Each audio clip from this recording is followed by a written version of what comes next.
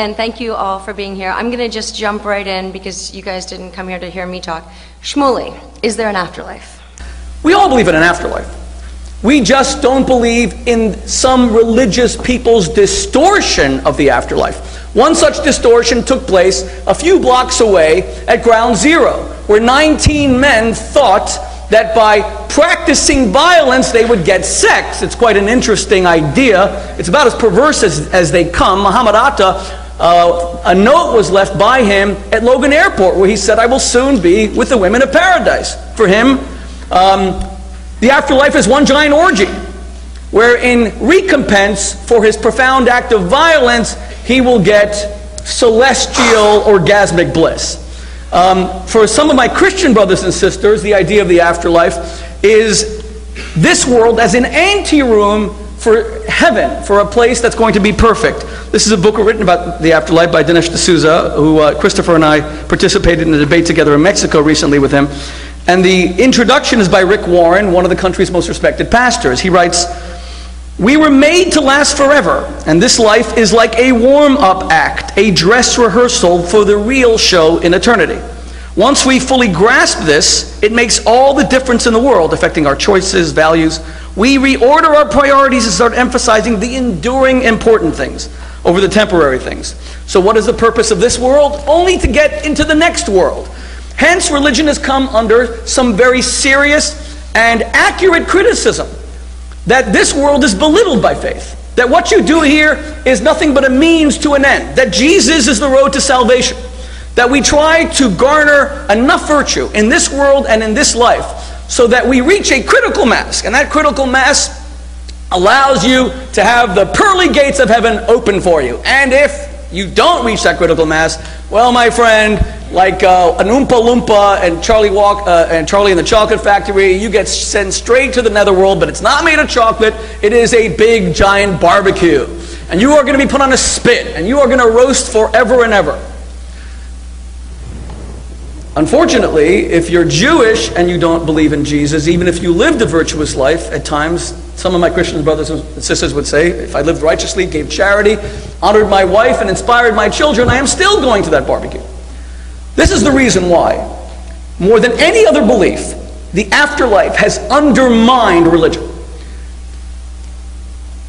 St. Peter's Cathedral, where I had the great honor of meeting the Pope four months ago, was built with, with a belief in indulgences, that you could actually buy your way into the afterlife.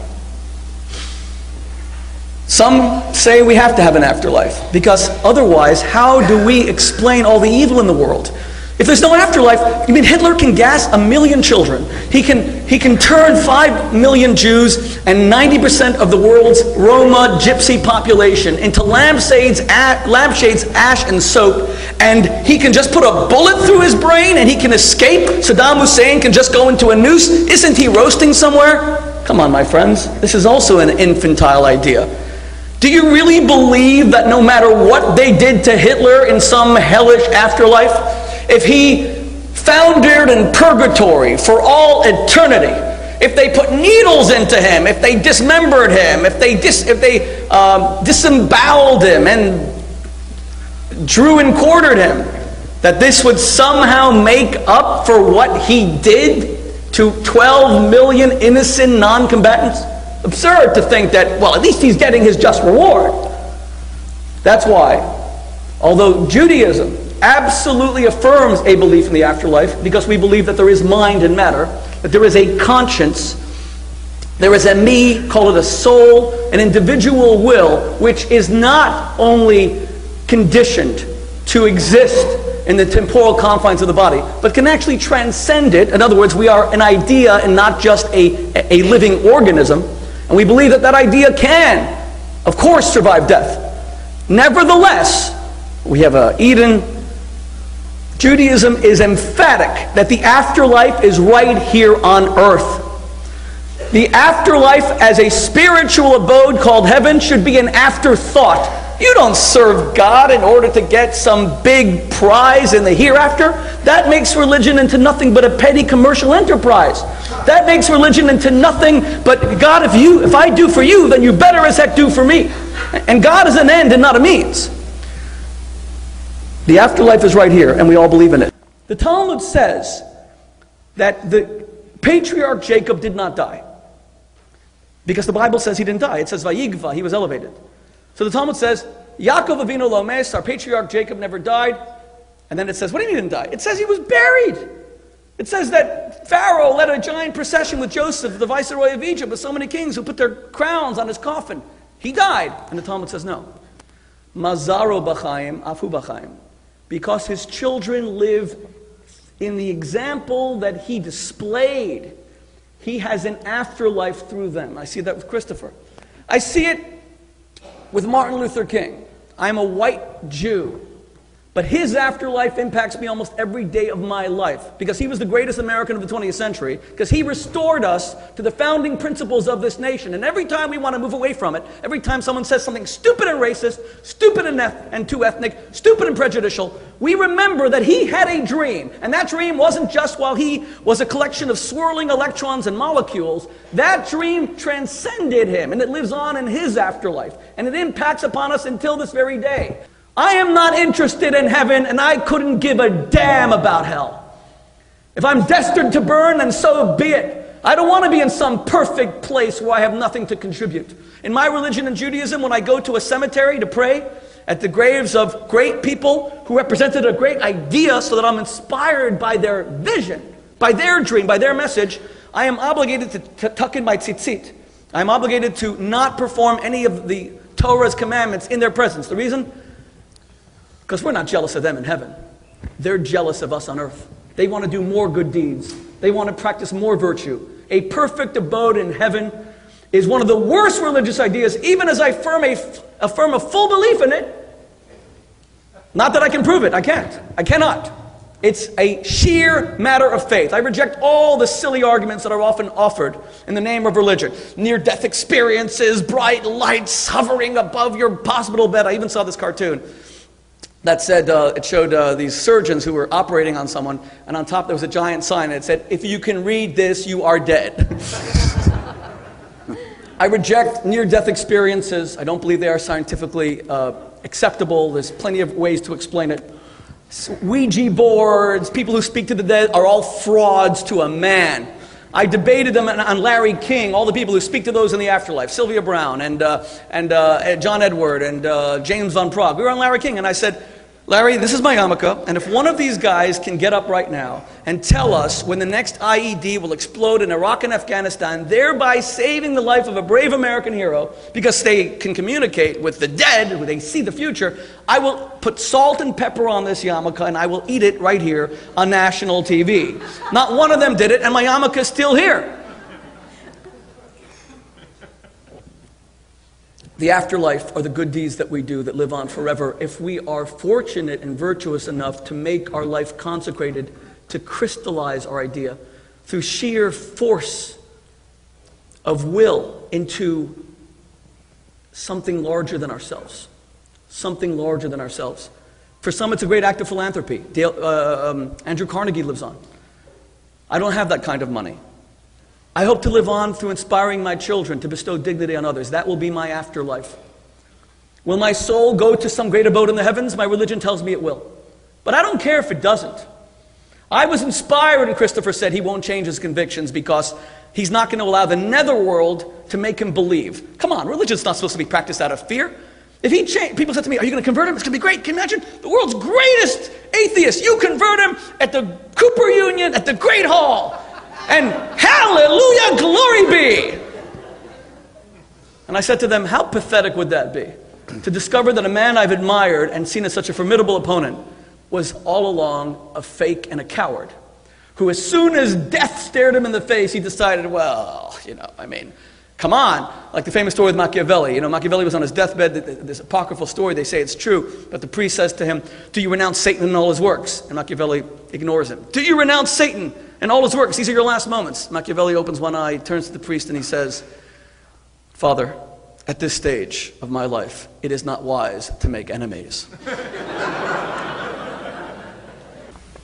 Our afterlife, atheist, religious person, agnostic can all agree, is making our life larger than ourselves. To that extent, some of us won't have one because America has become so narcissistic, so self centered. Facebook, all of this allows us to tell our friends what we ate for breakfast cereal. But those of us who understand it's not about us, it is something larger than us, and that's something that everybody th- with faith or lack thereof agrees that it's not about us, then you will have an incredible afterlife. It might be on a global scale, and it might not be. You might be a hero to thousands, you might be a hero only to your own children. But that's how we live on, by living for a cause larger than ourselves, to which we dedicate ourselves and which survives us. If we embraced this idea of an afterlife, it wouldn't have to be an afterthought, and would actually inspire people to see that religion is not born out of weakness, and religion is not born out of a hope that we have some sort of immortality because we can't face death, but religion is born out of a genuine desire to make our lives into a blessing for others. Thank you. Thank you.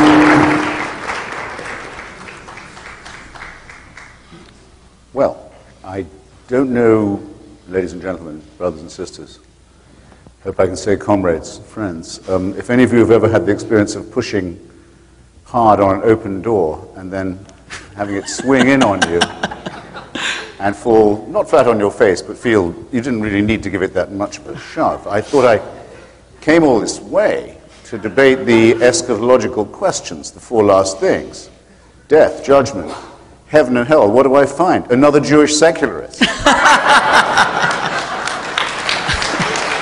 and,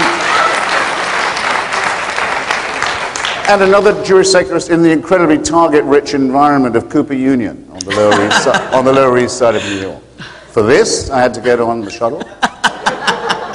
I take it, I will, I will, uh, I will not take it as um, was once said at the tribute of um, of uh, virtue to vice, uh, the complement, the vice-based virtue, the ideal of hypocrisy in the first place. I take it as the, as the, the, the incremental effort of a lot of steady work that some of us have been putting in to dispel illusions in the supernatural. And in a private belief that I've held for a long time, which is that very many of the practitioners of these faiths don't believe it either. And perhaps that might be the first consolation uh, that we take away from this evening's discussion. My own task having been so much lightened, even though I retain the tiny suspicion, and I hope it's an ignoble one, um, that Rabbi Shmuley might, might possibly be going easy on me. and that would be a great cause of resentment. Uh, if I thought for a second that that was true, it's already bad enough that I'm the fifth person appearing on this stage, and you may have noticed the steady decline in the standard of pulchritude uh, that went on uh, after number three had left the stage. Um, so I'm, I'm left to restate what I still want to say and have to begin with a disagreement. The idea that a person who martyrs himself and kills others in the cause of the faith will be rewarded in paradise is not a delusion of Muhammad Atta's. I, I, wish it was. It would be very nice if we could say that that was the case. It is rather um, a belief firmly rooted in the holy book of the Muslim faith, the Quran. It is believed by an enormous number of people. It may not be disbelieved someone who martyrs himself for the faith will be so rewarded.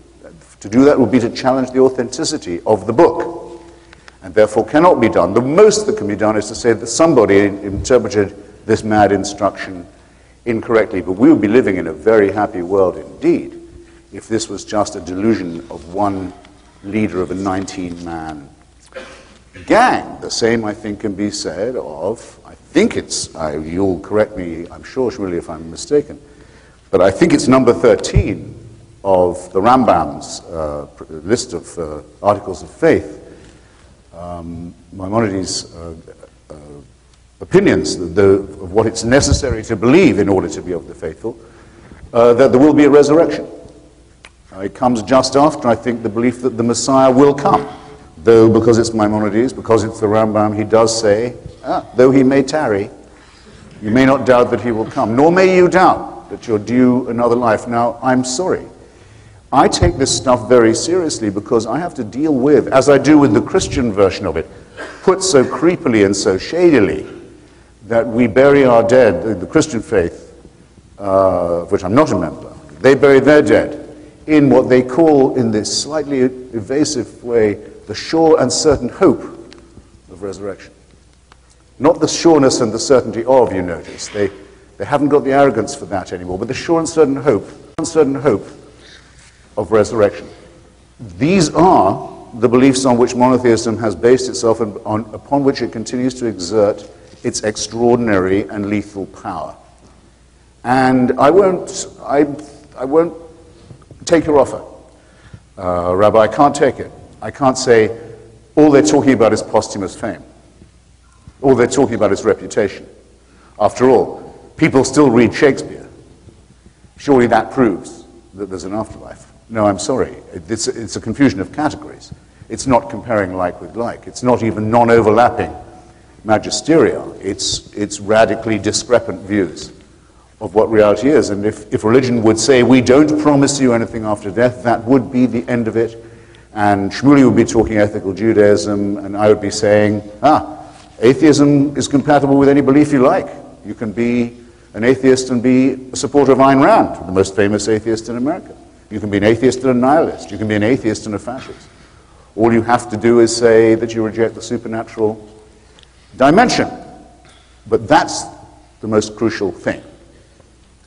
And now, the critique of religion that we've evolved over the years in mortal combat with it is this, essentially. First, that it has a very queasy relationship with anything called evidence. That it makes very, very large claims for itself. Perhaps Rabbi Shmuley won't choose this evening to do so, but it claims to talk in terms of redemption, of salvation, and even of eternity. And there's an inverse relationship between what it claims and the amount of evidence that it can muster. And that this is its original, if you like, uh, sin.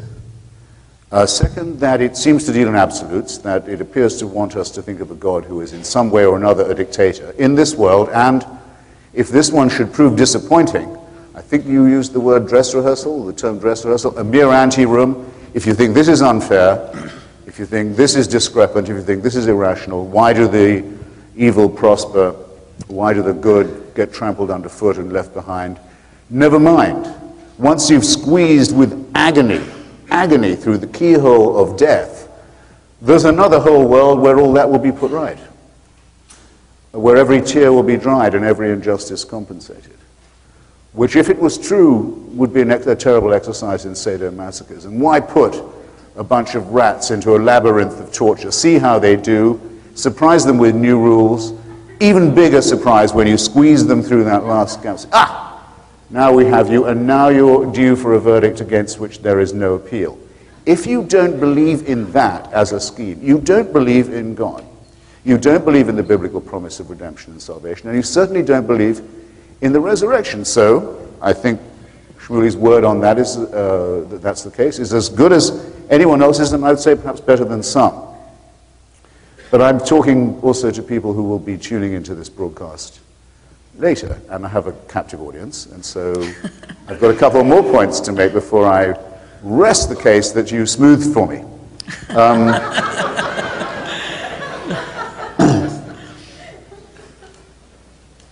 that it's based on there's another element in our critique of it is that it's based on wishful as well as delusional thinking. Above all, wishful thinking. What is a stronger desire? in the human species than that we shall conquer death. We are the only primates, as far as we know, we're the only members even of our own species, the primate species, who are fully aware of death and absolutely unreconciled to the idea of our own extinction. Even though we know our chemical composition, we know we are made out of the same elements as the rest of the cosmos. In fact, rather miraculously, if you want to call it that, we're even made out of stardust. Stars had to die for us to live, so we think it's overwhelmingly probable that when we die, our chemical ingredients will return to the, the natural biological and biochemical cycle, and there seems no evidence to the contrary.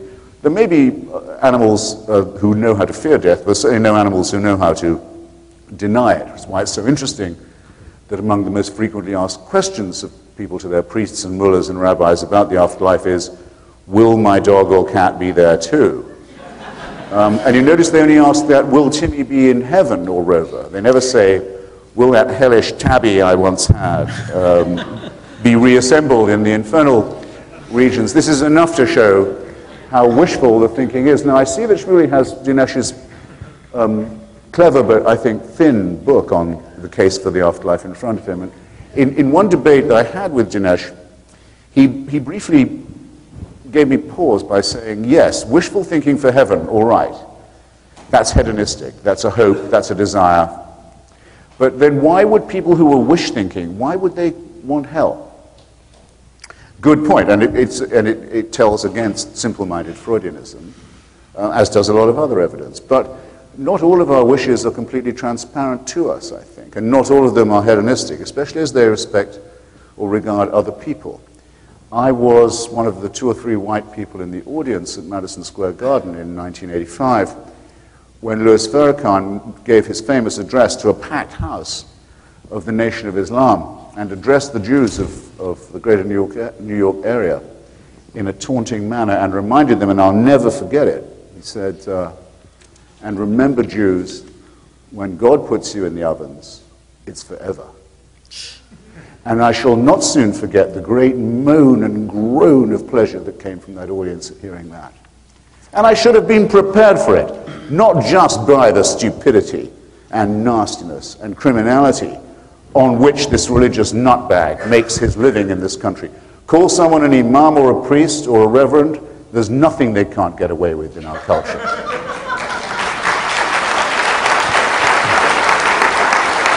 If I could change one thing, it would be that. The second would be when someone gets up and says, I'm a person of faith, that you, they don't get respect for it. They, expect, they think that's a respect producing statement. I am a person of faith. You know, I'm a person who will believe practically anything on no evidence at all. well, you said it, mister. Respect comes later. Um, I digress. I shouldn't have been surprised by this orgy of sadism and cruelty and gloating from Farrakhan's religious audience because I've read the Christian fathers. I've read Tertullian, who, answering some questions, one of the great fathers of the church, we see why hell is unpleasant. Why is heaven such fun? It seems to be rather dutiful. Endless praise, endless worship, endless subjection, uh, endless tedium. Uh, you think that the Lord himself, after the first five billion years, would have had enough of the songs of praise. No, it's got to go on forever.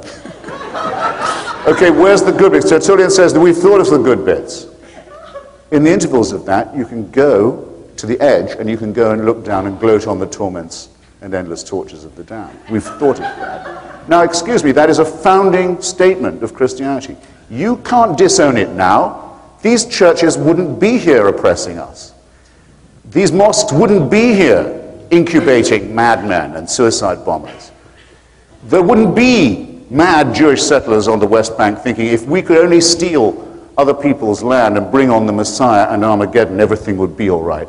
There wouldn't, there wouldn't be anything of this if it was left to the rabbi, if it was left to the rabbi and myself, but it's not. And uh, his, uh, Joseph Ratzinger, His Holiness the Pope, has just got off the plane in England today to announce that atheists are Nazis an overdressed little ponce who was himself a member of the Hitler Youth, dares to speak this way, he leaves, he leaves the palace that quite rightly, quite rightly, Shmuley points out, was built on the sale of indulgences. Well, picture the church as if it had not done that. Are you talking about the same formidable multinational force? No, you're not. Have they disowned what they did? No, they haven't.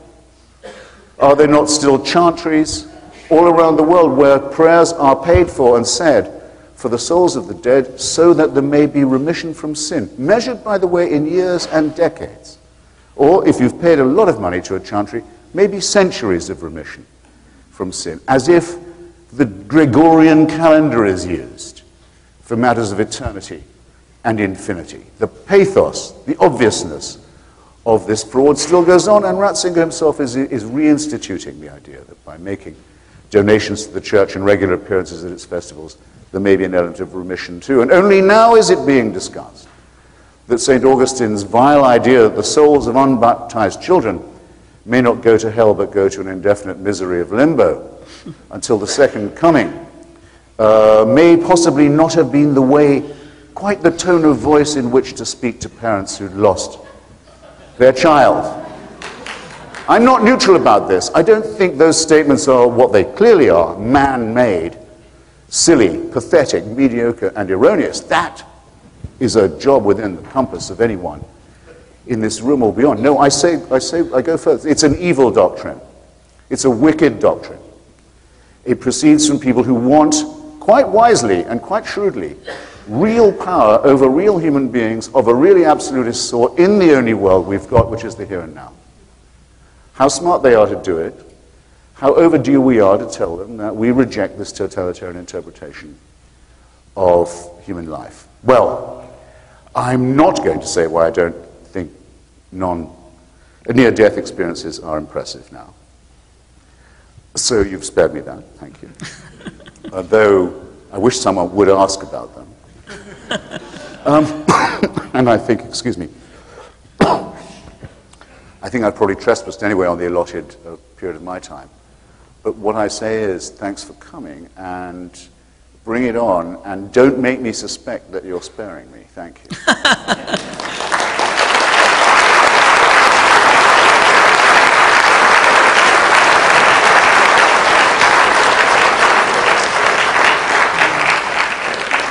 Okay, Shmuley, it's your turn for rebuttal, but take the gloves off now. Take the gloves off. And tell me about the afterlife. Well, um, Does the Rambam recommend it or not? Say. No, does, he, does he say there'll be resurrection? Where well, do let me- I'll get to all of that. where's the difference between you and Maimonides? Christopher, you create a straw man, and then you beat the hell out of it. Fair no, enough. Don't. You say that this is religion, and therefore I think it's absurd. I'm telling you firmly that Judaism, which is the father, mother of all monotheistic faiths, has never put any kind of serious emphasis on, emphasis on the afterlife, period. Not because we don't believe it. I'll give you the Jewish idea of the afterlife, but because it's an afterthought. Anyone who serves God for the purposes of an afterlife is not religious. They are self serving. They abrogate the central message of religion. Judaism is not about gaining entry into heaven, it's about creating heaven here on earth. And in that sense, it has inspired many irrational beliefs in the perfection of society so that this afterlife, this world that we can perfect, would be brought about even by people who are atheists and agnostics.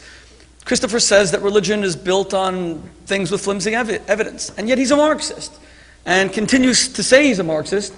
Um, when Marxism is based on this irrational belief that somehow people will bury contention, competitiveness, give people according to their need, uh, it's, a, it's a utopia. Now, if you look at history, we see that human beings cannot build a utopia. On the contrary, disease will always, you, you cure one, another arrives. Uh, you stop one war, we all thought the end of the Cold War was the end of conflict. Instead, unfortunately, global uh, uh, uh, terrorism uh, erupted. Why would anyone believe in this stuff? Obviously, it's somewhat irrational. But it is an idea that the Jews imparted to the world through messianism. What is the. My, my, uh, uh, let me just get back a second. Messianism, as Christopher or any person in this room will tell you, is a this world phenomenon. The Jewish afterlife is right here. The wolf shall lie with the lamb. A child will lead. Um, uh, um, a predatory animal without being harmed. There'll be some sort of change in the nature of people that will want to actually be different. This is something we have all aspired to. Why do doctors look for cures when we know that ultimately these cures will elude us? None of this is very rational. It's all based on something super rational. This innate desire to make the world better against all the evidence that it can be done. There's no evidence there. It's called hope. It's how Barack Obama became the president of the United States. Even secular people have faith. That's the point. They may not have faith in God, they may not have faith in the Christian or Islamic afterlife, but they have faith that we can improve the world, and that is the emphasis that I'm making. Christopher can't take notions of religion that he considers religious, dismiss the others, and say, well, I want to bash these because the ones that I don't like, I'm going to just dismiss them as secular. This isn't secular. The idea of utopia, which is be, Marxism is a secular utopianism, it's a religious idea. That's why it hasn't really happened yet. It is a religious idea. We now know it doesn't even work. We tried it. Market, it, uh, um, the market forces of an open economy produce wealth. It also produces selfishness, materialism, and all this other stuff. And rich and poor, some of the holes in the American economic system. But we tried Marxism and it failed. The people still grab onto it. Why? Out of irrational faith. Because they want to create their own afterlife. And I actually endorse that. Maybe not their mechanism. But I endorse the hope. And there's no evidence for it whatsoever. Nothing. All these leaders who are coming to the United Nations, they're all going to come and they're all going to sit down and try to make peace. And Ahmadinejad is going to give his stupid ramblings, and my, my next door neighbor, Muammar Gaddafi, is going to do the same. And everyone is going to, yeah, that's kind of weird, isn't it? to be the Jewish Forrest Gump.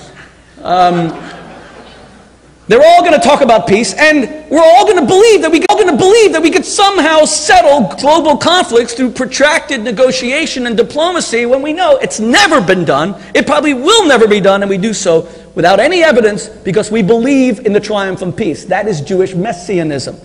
The Jews were the first to speak of great men not slaughtering each other with swords, but beating their swords into plowshares. This goes back 2,500 years. So when we take religion, we say it's always about violence. Religion is always about, about saying that you're not saved. That wasn't the Hebrew prophets. They weren't perfect.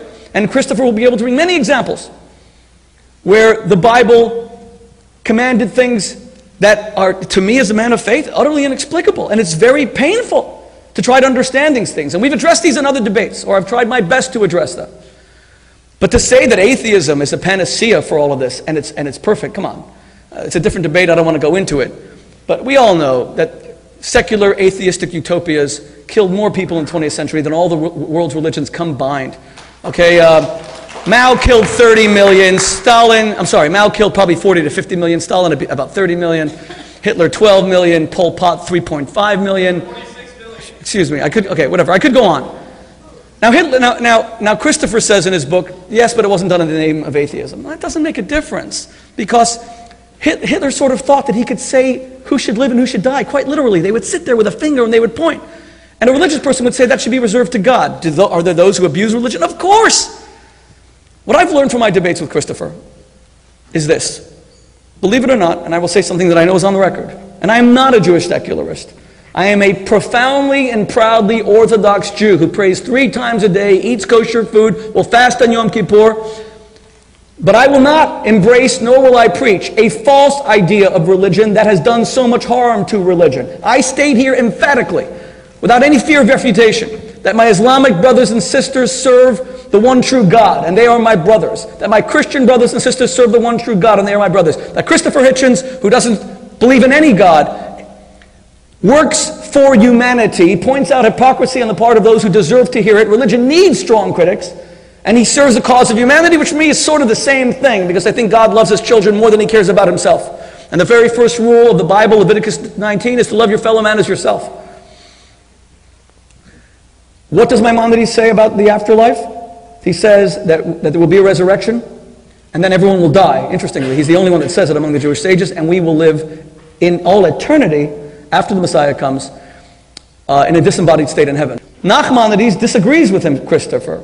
He says that when you die, yes, there is an abode of souls, because there is a soul, but Nachmanides says, Rabbi Moses ben Nachman, that although there's abode where the eternity of the soul experiences the bliss of being in the divine presence, Ultimately, those souls will be, as you said, resurrected in bodies because it is only this world that matters. It is the justice, the righteousness, and good deeds in this world that matters. You don't have to accept that. If you're a person of faith, you're going to believe it as an article of faith. Einstein didn't like that chaos. Einstein wanted what Christopher wants this world which seems to be ordered purely by reason. But it turns out that Einstein embarrassed himself in the last decades of his life because he rejected the truth of quantum physics. He, he searched for a unified field theory, really began to undermine his scientific credentials, never really contributed to science after the age of 25 because he couldn't accept that the world was chaos, complete and utter chaos, that it couldn't even be measured, that it, didn't even, it wasn't even subject to the rules of mathematics. I try to bring reason to the world, but I am humble enough to admit when I don't know or when things transcend knowledge. Never once in my debates with Christopher Hitchens have I ever said, this is so because the Bible says so, or this is so because I believe it. When we debated God, whether I did a good job or a bad job, my argument was that based on my limited understanding and having reviewed as much of the scientific literature that I can, because I absolutely believe in science, it does not seem to me that mathematically there is a strong probability that life could have evolved of its own accord. And I've looked at the math, and it, that, I still retain that attention. I've looked at the anthropic principle, so many other things that seem to sh- show that the world has a unique precision that would defy um, an accident. When I debated Christopher on whether we need God to be good, I believe that unless you have some divine authority that says it's always wrong to murder, human beings will always find a reason to murder, including religious people who will use whatever they find in religion to justify their own reasons for murder. But I'm not going to murder. I disagree with Christopher's opinion about settlers being the cause of Middle Eastern conflict. I believe in the Middle East, it's my opinion, that right now it's Hamas and Hezbollah, funded by Iran.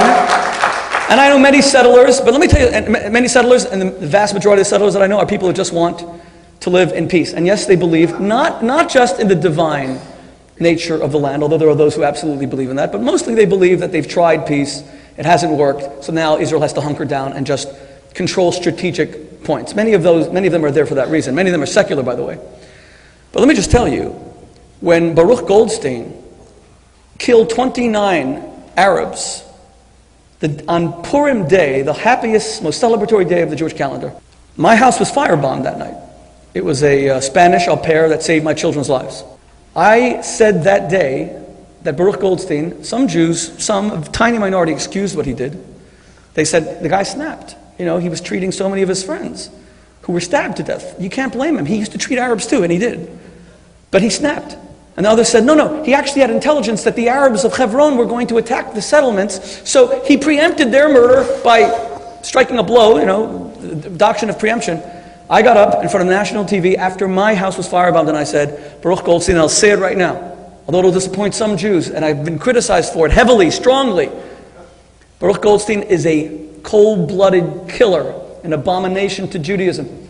There is never an excuse to kill someone who is innocent, ever. The only excuse to kill is in self defense, period. If someone wants to take your life. These were 29 innocent people who just wanted to pray. I say that on what? Based on the religious authority of God saying, do not kill. And when my Palestinian brothers and sisters turn to me and say, but come on, Shmuley, we have to do suicide bombings because we don't have helicopter, helicopter gunships. We have to strike back because there's all, all these Israeli checkpoints. Okay, I hear you. But let me just tell you your religion also says do not murder. Ever. Even when you have checkpoints. The Jews were subjected to, let me use the classic British understatement, the Jews had a rough time in Nazi Germany. But they never blew up nurseries. They didn't resort to blowing up buses. They never used that as an excuse to punish innocent children. And I say that to my Arab brothers and sisters, based on the religious authority that you cannot kill. Religion does have an application, but I got to tell you, so does atheism. I wrote an article about, about Christopher's illness. I told the story of Rabbi Zusha of Anapoli that he told his students, one of the greatest Hasidic masters, he said, atheism is necessary for faith.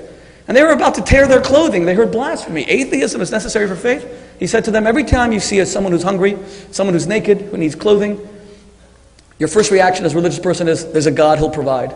You're supposed to doubt it sometimes. What if there is no God? What if I am the one who must stand in God's stead? We need intelligent critics of religion. My whole problem with Christopher Hitchens has simply been this that he finds no redeeming qualities of religion at all. You can criticize the Catholic Church.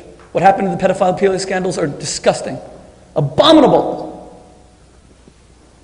But are you going to criticize an organization that runs the largest network of orphanages, hospitals, and schools in the entire world? Are you going to say it's all bad? You can criticize religion. Are you going to say it didn't inspire Martin Luther King's message of racial harmony? He never had any title except reverend throughout his entire life, period. Every speech he gave was quoting from the Hebrew prophets who spoke of a time when human beings would live together as one people with one tongue, sharing one hope. That wasn't an atheistic vision. That came two and a half thousand years ago, as I said from the Hebrew prophets. So my issue with Christopher is not that he has very legitimate criticisms of religion that I myself would, art- would articulate. Because I don't believe in perfection. I believe in struggle. I said it before. It's why Eden and paradise have no appeal to me. I want a place where I wrestle with my conscience to try to do the right thing. Heroism is found specifically when there's two sides and you have to triumph one over the other. Especially not slaying dragons outside of you, but the demons that live inside you. But to say it's all bad is like coming along and saying that all atheists are terrible and they only poison. And that was said by religion for thousands of years, that kind of religious hypocrisy. So, no, I am not a secularist at all. And yes, I absolutely affirm a belief, and I have no evidence, and I say it openly because I'm not a liar. There's no evidence. Even, even Dinesh D'Souza's argument, which is interesting, he said it in our debate in Puebla, that, that uh, physicists now admit that 95% of the universe is dark matter. We don't even know what it is. Maybe that's heaven. Well, maybe it is, but that's still not evidence. Some people say there's, when you believe, many scientists who are atheists believe in extraterrestrial life. Why do they believe in it? Christopher said that science is about hard evidence. We don't have the most, a scintilla of evidence that there's any life on other planets. Nothing, zero. And yet we spend billions with uh, radio satellites and probes looking for this thing, and there isn't a scintilla of evidence. You may as well look for heaven. It's the same thing. In fact, more people probably believe in heaven. But again, I accept his argument about evidence. I believe in an afterlife, the way the religion, religion describes it. I believe in paradise. I believe in all those things because I'm religious, and it's, it's the foundation of my life, these beliefs. And yes, they don't always lend themselves, and they're easily ridiculed, I agree. But there are many things in life that do not lend themselves to evidence. But that's not, that's, but, that, but what I'm saying is, none of this is ever emphasized in my faith. None of it. Jews almost never discuss the afterlife. This world, feeding the hungry, clothing the naked, giving hope to the hopeless. That's why Judaism is such a this world grounded religion. We actually say that this world is the one that matters. There's nothing secular about it. So your vision of religion is not the one that I buy into. But thank you very much. Sorry I went on. I think that um, having, so to speak, invented the toxin of mon- monotheism, it's a wonderful thing that Jews have been the greatest contributors to undoing it.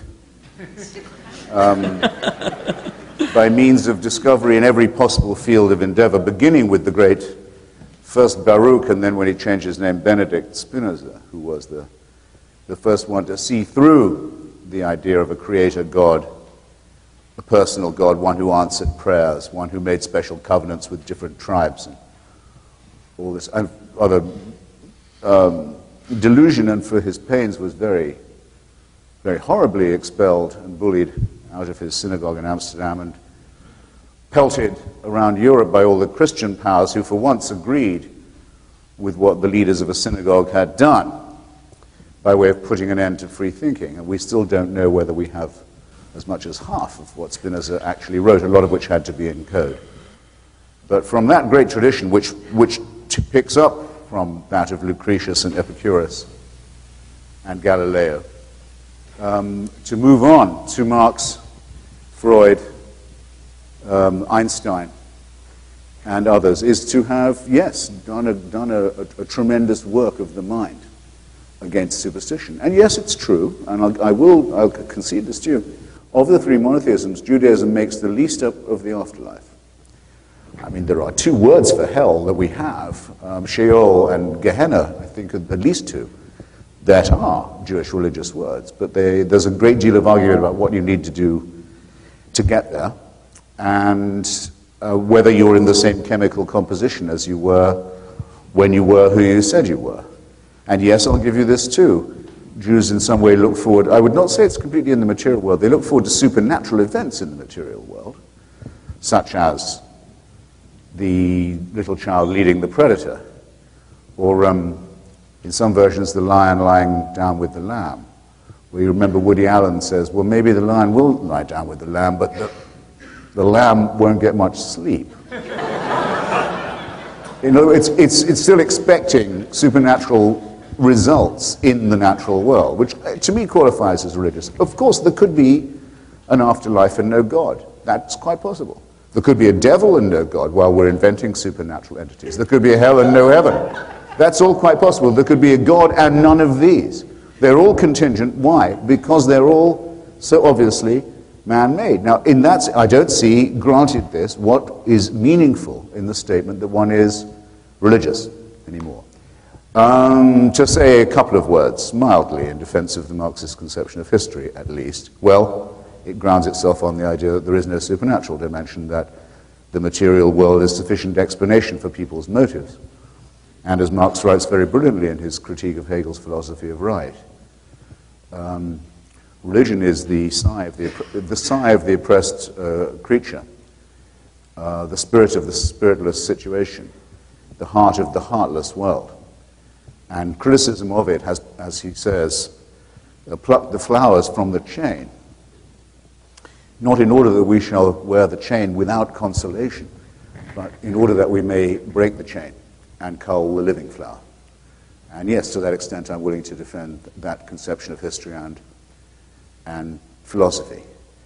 Now, it's a, this doesn't mean materialism sounds bleak, or, or may be made to sound bleak and arid and reductionist.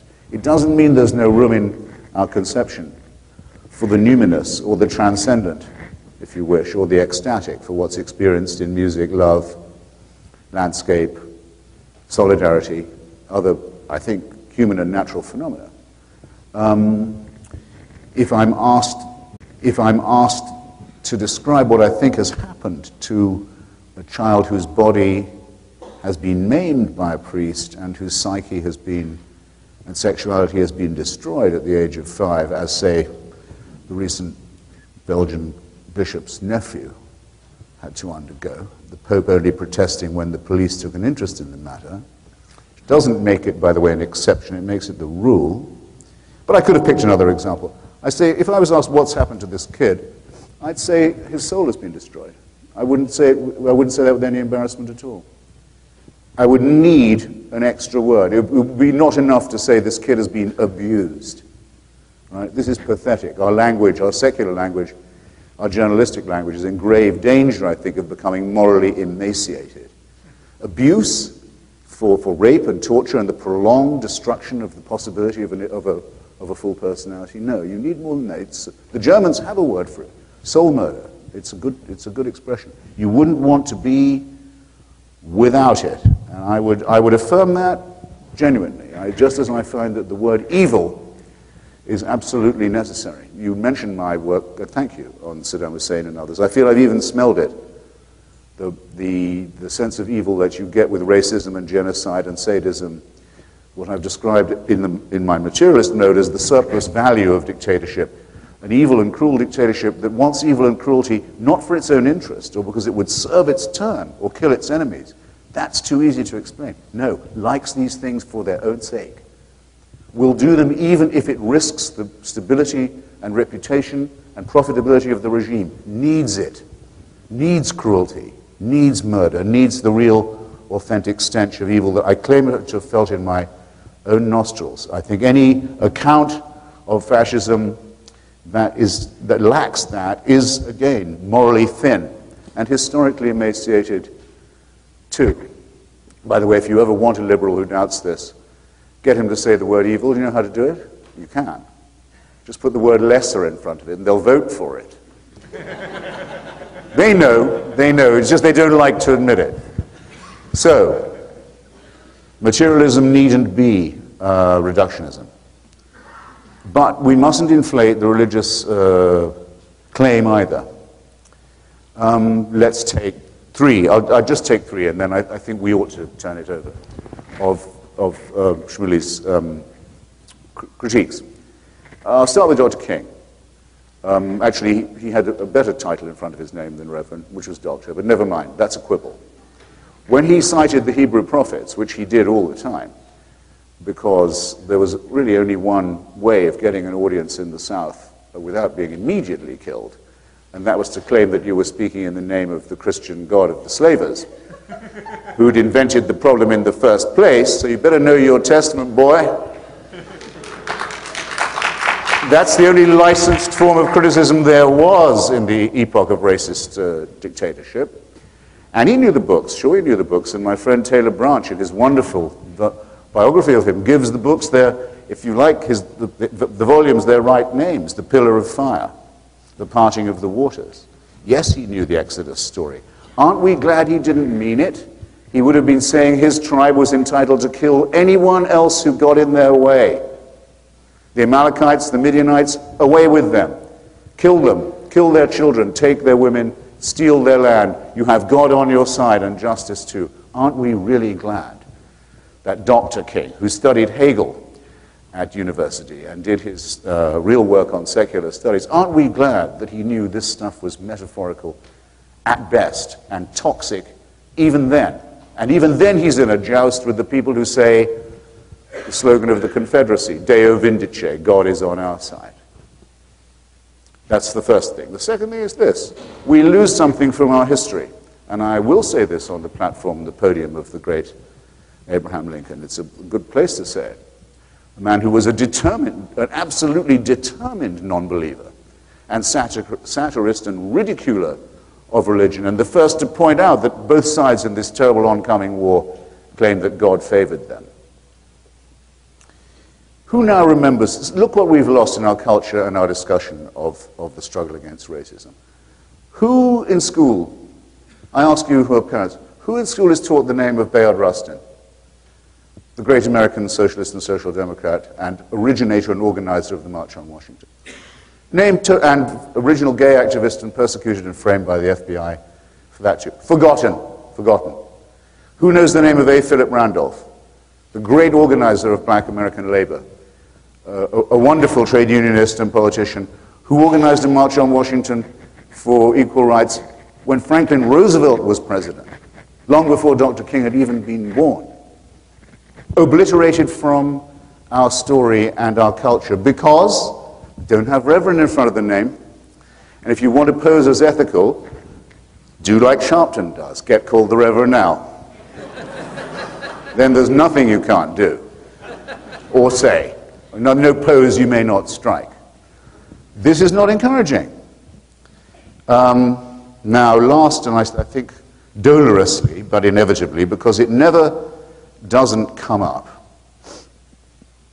Um, I'm not a member of a faction that goes out and shoots people and burns their churches and burns their books if I feel offended. I hope that's clear.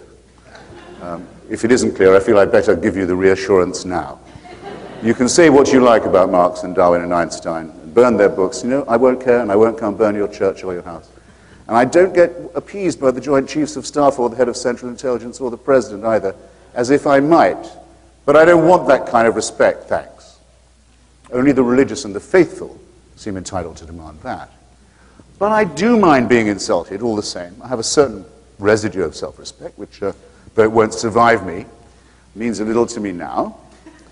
And religious people are often unaware of it. They'll say things fantastically rude on first meeting, like, oh, you don't believe in God? Where do you get your ideas of right and wrong from? what? the Pope says at the intaking of the capital city of the, the, of the Albigensians, a Christian heresy. Simon de Montfort, as general, said, you want, you want me to kill them all? How will I know who's an Albigensian? Said, kill them all. God will know his own. The Hamas people interviewed in Gaza recently by the Palestinian correspondent, very brave woman the New York Times, said, what do you mean you're shooting people in the hospital? Says to this, this, this uh, humanoid. Says, we're doing them a favor. If they're good Muslims, they'll already be in paradise. These people want to know how I get my ideas of morality without a belief in the, in the totalitarian power of the supernatural. I object. I don't like being talked to in that tone of voice. And I hold it down. And then I get told that um, atheism is Nazism. The Pope does it today, getting off the fucking plane in Edinburgh to talk to the Queen. And Shmuley doesn't exactly not say it. Now, on this, because of the totalitarians of the 20th century, Adolf Hitler is the only one he mentioned more than twice. I'll, because, and because I can't do them all, though, believe me, I will if you press me. I'll just take the Fuhrer. My former colleagues and ancestors at the New School produced a very comprehensive edition of Mein Kampf, the hard book to get. They wanted, it, they wanted everyone to read it, and I have several copies of the edition they brought out in 1940. Just slightly too late, actually, in the hope of warning people. I think it's the, at the closing pages of chapter 2 that Adolf Hitler says that his work, his work against the Jews is done on the direct instruction and inspiration of Almighty God. Uh, it's certainly a trope that's repeated throughout the book if you, and there was no reason for someone brought up in Catholic Austria Bavaria not to think that. Centuries of Christian instruction in the poisonous nature of, uh, of the Jewish people, the verminous character of the Jewish people. An uncontroversial remark. The Vatican at that point was willing to ban books by Evelyn Waugh and Graham Greene, say nothing, books about evolution and the Big Bang. They were invited to ban Mein Kampf. Did they? No, they didn't. Instead, the Vatican made its first ever political treaty with, uh, with the Third Reich exchanging complete control over education on their part for complete control over the rest of the state by the Nazi Party. What did it say on the belt buckle of every single member of the Nazi army? What did it say? Gott mit uns. Do you want me to translate? It says God on our side in German. If you took your oath to the Fuhrer, how did it have to begin? I swear in the name of Almighty God, my undying fealty to Adolf Hitler. Shmuley, I won't take it from you. I'm sorry. I don't want to spoil a relatively friendly evening either. Don't you dare bring this up again. I can take a lot.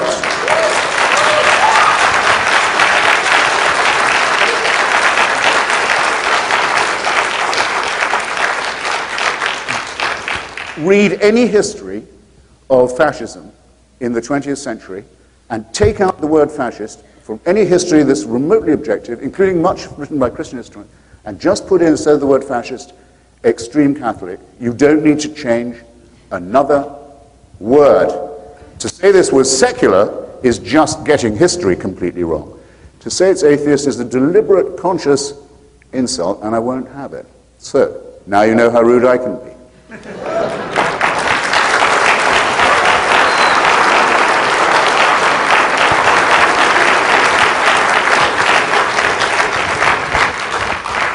Soul death and the destruction of the soul. The soul, yes. And, and what is, for you, what is the soul? It would be like saying, it's like reducing love to sex, if you wish. Um, you can do it. I mean, we've all tried.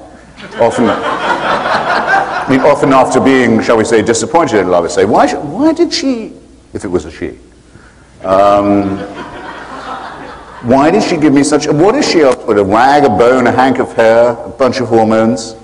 What the hell? What was, what was all that about? Yeah, but you keep telling yourself, keep asking yourself, you won't come up with the, with the answer.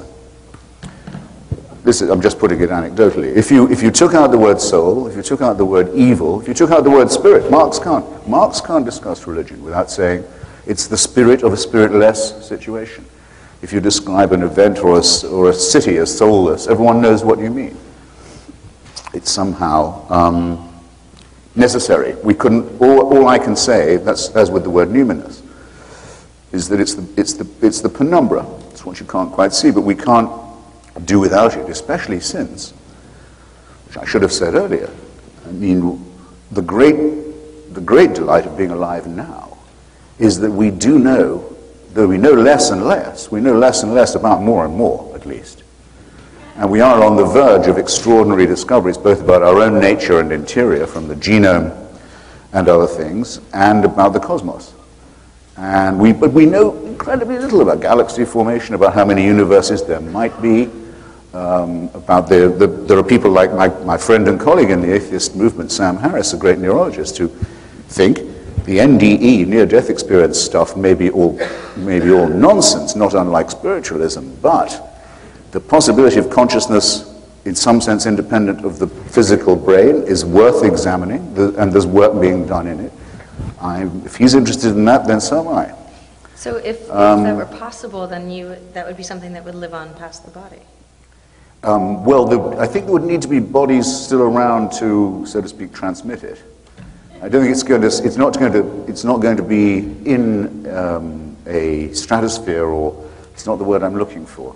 Stratosphere. Um, uh, it's not going to be in some astral plane that these things are resolved.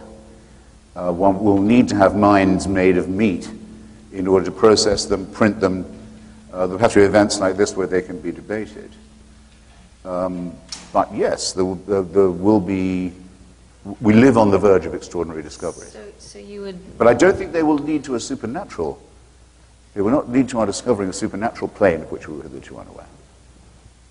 but if it's not something within nature and if it's not something material, it would by definition be supernatural. Maybe not religious, but it would be supernatural.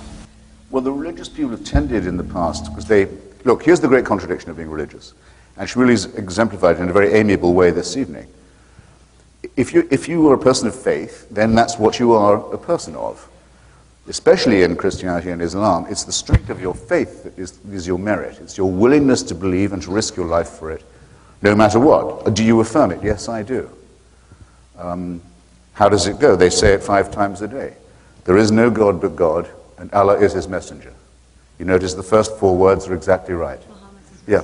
Uh, uh, well, sorry, and Muhammad. There is no God but God, and, and Muhammad is his messenger. The first four words are exactly right. There is no God. So five times a day, millions of people around the world unknowingly speak four words of complete truth. Progress of a kind. But it's the faith that is the merit. What do they want evidence for? They're never going to get any evidence for that. The merit is the faith. So as soon as they say, ah, and by the way, It is possible to make night journeys to Jerusalem on a horse. The faith shrivels. It shrivels. And, the, and Christianity has given itself away repeatedly on this. It now says, ah, we didn't used to think there was a Big Bang, but, but now we realize there was one. Reads a lot like Genesis when you read it backwards. Plagiarism, pure and simple. They do it all the time. But then, the, now, they're, now they're pimping off the back of medical science and doing extraordinary moments in, in surgery, surgical intervention to do the near-death experience racket. This is a familiar. All these things will yield to properly controlled scientific investigation. But the things that we know already are miraculous enough. Science is not infallible either. No. Uh, My husband, when he started medical school, the first day, they said, his professor stood in front of him and he said, I just want you to know that everything you learn these four years, by the time you finish your practice, half of it will be proven untrue. The problem is you just don't know which half. Can I just, okay, you want to put a question there? Yeah, yeah, it's worth uh, addressing some of the points that, that uh, Christopher made. You know, many here, I'm sure, are familiar with the story. Socrates was told by the oracle at Delphi that he was the wisest man in Greece. And when he heard it, he chuckled and he said, If that is so, it is because I am the only one who knows what he doesn't know. And I think there used to be a certain humility to scientific investigation where theories were postulated to explain evidence, to explain facts. That is the scientific method, and we all know that it works. It works in medicine, it works with your iPhone, it works with all your appliances, and there's great truth to science. There's an arrogance that's developing in science that I think should be a little bit worrisome. Because what I said in that debate with Dawkins is Maimonides, considered the greatest Jewish thinker of all time, who was uh, strongly influenced by Aristotle, and, by, and he was a great doctor, of course, uh, court physician to, to Sultan uh, Salah al-Din, Saladin. He said, Kabbalah emes mimisha omru, you must embrace the truth regardless of its source. And Judaism, I can't speak for other religions, but Judaism is a religion based on this search for truth. Now, Lisa just said that science does change its theories, and sometimes with, with great frequency. When Maimonides was alive, the most important scientific theory of the time was the Aristotelian theory of the eternity of matter. It sort of survived into modern science in the solid state theory. There was no belief that matter actually came into existence.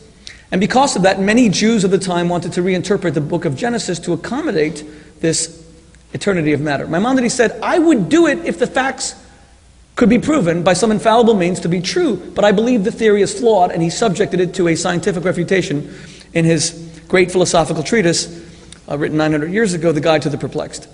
Of course, later, and now Christopher is saying that, that religion uh, is uh, plagiarizing science, um, we came up with the Big Bang Theory after the solid state theory, where all of existence, the entire universe, came into existence in an instant. Now, is that the story of Genesis? I don't know. There are similarities. It's impressive that there are some similarities. I'm sure there are many discrepancies as well.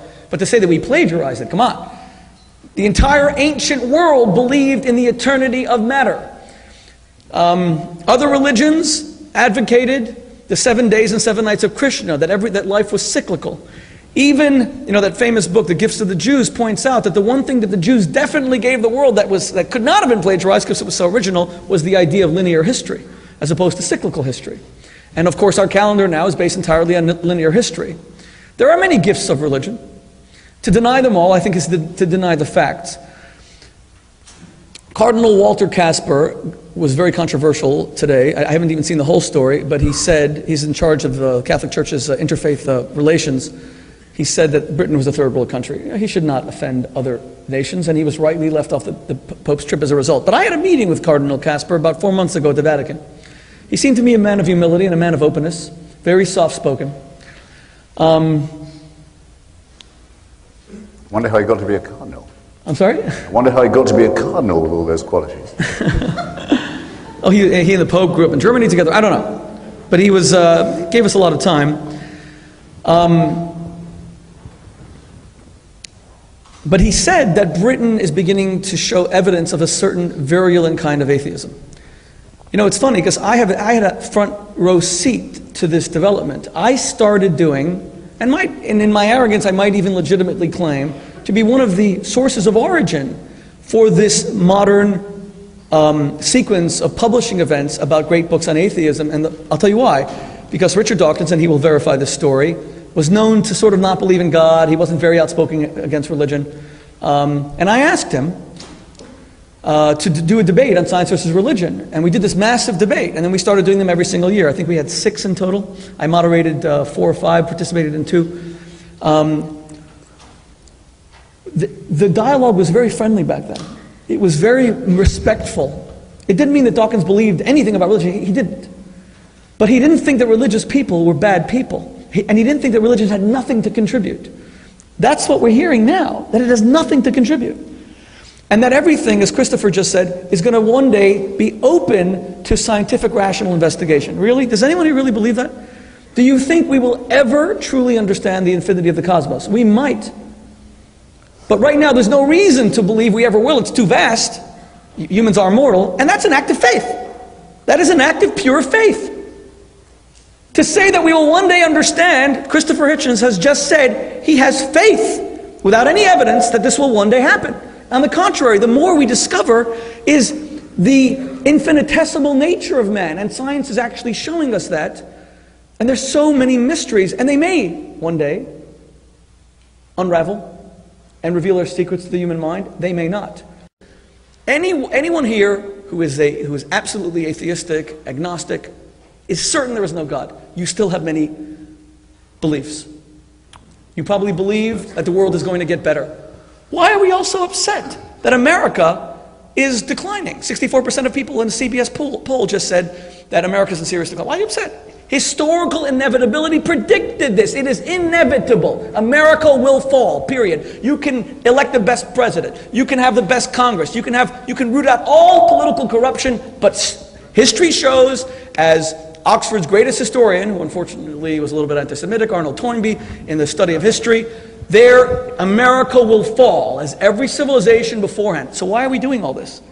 Why do we think it's not true, it's not inevitable? And there's no evidence to support any belief that it won't. None. All the evidence says we are doomed. It's happened before. It's called cyclical history, and there's no way out. No matter how much you want to identify, read all of Gibbon about how Rome fell, it's still inevitable because human beings are corrupt. And yet we still believe that we can perfect. That's a belief. No evidence whatsoever. In that sense, I think that, and let me conclude by saying, in that sense, I think that the religious ideas of, the, of linear history, our ability to make tomorrow better than today and give our children better lives than we ourselves had, that is a religious belief. And it doesn't make a difference if you don't believe in God, because again, it's unsupported by fact. If we were to take a scientific determinist view of life, it's quite, quite gloomy and it's quite, it's quite dark. The reason why I respect Christopher Hitchens, amidst our, some of our very serious disagreements, and let me conclude by saying, based on everything that I just said, is that he's different to all the other atheists. Honestly, I've discovered this in debating them. You see, he has a genuine love for humanity. Richard Dawkins will go up and say, I'm going to arrest the Pope because the Pope um, allowed the uh, uh, molesting of children, or as Christopher would call it, raping of children. I think you've used that in many of your essays. Rape and torture. Rape and torture. Okay, fair enough. Richard Dawkins suddenly loves children. He even wrote in his book that, um, that religious parents, I think, should be prosecuted or not prosecuted. They should be stopped from giving their children religious edu- education, etc. He suddenly cares about kids. Really? What's he done for kids? You mean only when the Pope comes to Britain he remembers there's kids? But in other words, he doesn't love children, in my opinion. He probably just hates religion. But Christopher Hitchens is very different. He has shown throughout his life an absolute dedication to the human family. He has been one of the most eloquent voices for human rights that there is. That's why I honor him. Because at the end of the day, I don't care what a person believes, I care what they do. And in, that, in this sense, this is a great debate, but it doesn't really matter. Because action is everything. Is Barack Obama Muslim? He says he's a Christian. I believe him. But what if he were? Who cares? I don't care if he believes in the Starship Enterprise and speaks Klingon. As long as he's a good president, does, you know, if he has values that I can respect, if he stopped the genocide in the Sudan, if he spoke out strongly against a woman who may be stoned to death in Iran, I don't care if he believes in, in, in the rafters of the ceiling. What, what does that bother me? I care what people do. In that sense, I don't care what Christopher Hitchens believes or doesn't believe. He's a champion of human rights, and we need more of them. I, you know, the essays of his that I've read.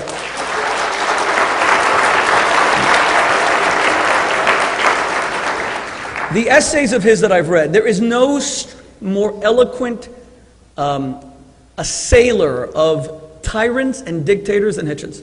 And you're right about the Catholic Church, or at least Pope Pius uh, the Twelfth, Eugenio Pacelli, and Hitler, of course. That was uh, a bugaboo in our last debate, so let me concede the point absolutely. Um, Pius XII, Eugenio Pacelli, uh, I believe, and I'm sorry to say this to all my Catholic brothers and sisters because they were, they were phenomenal. Pope John XXIII was one of the greatest men of the 20th century, I believe.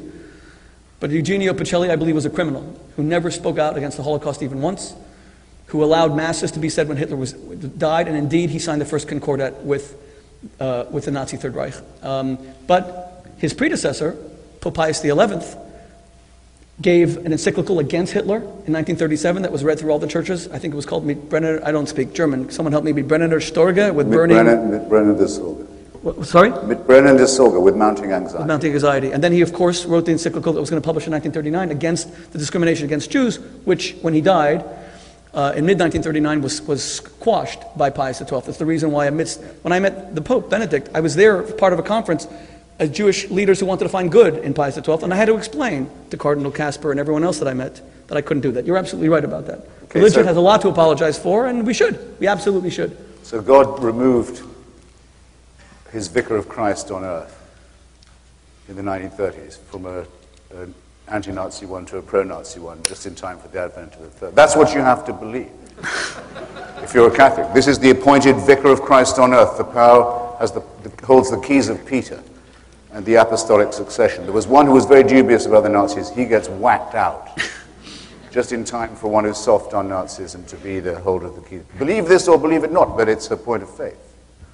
Okay, so why is tonight different from other nights?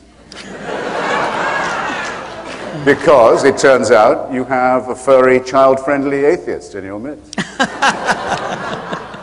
On behalf of the Board of Trustees of This World, the Values Network, I would like to offer our sincere appreciation to visiting adjunct professor Christopher Hitchens and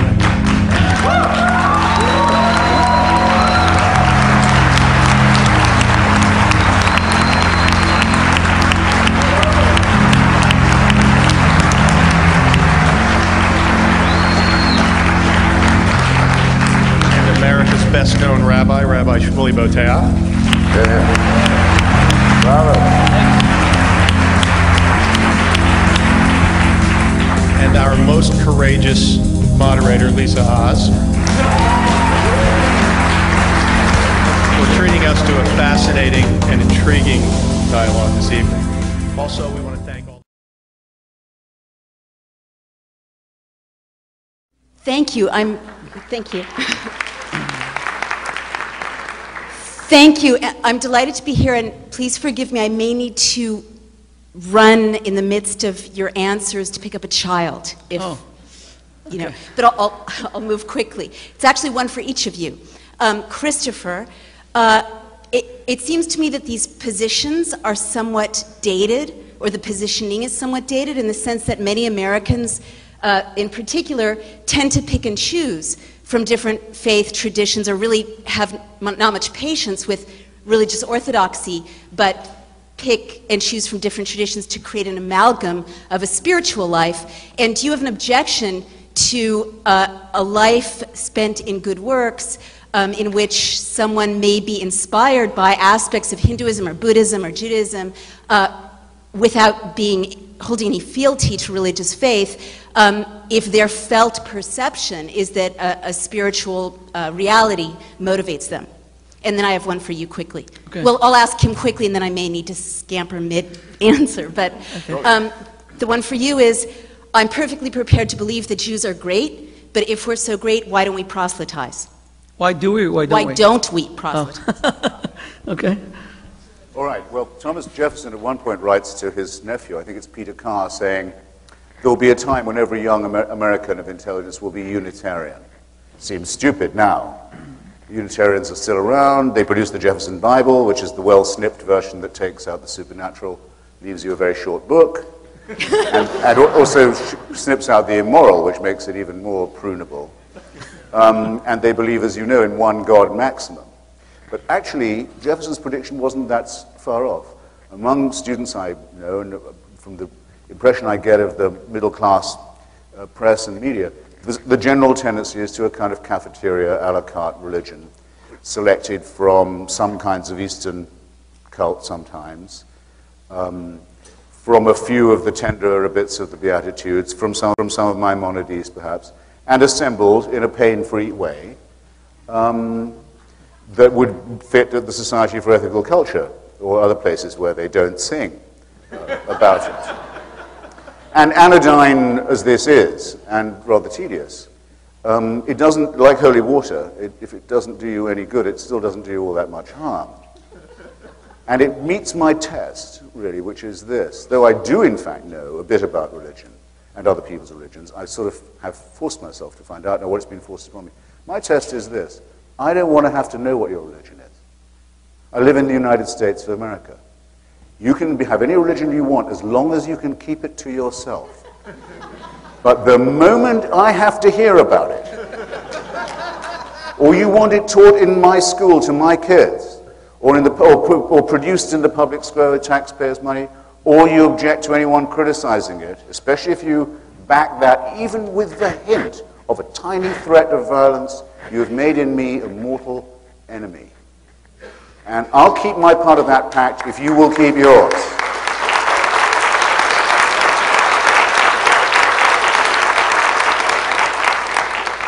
So by all means, the mush solution, because it's all mush to begin with.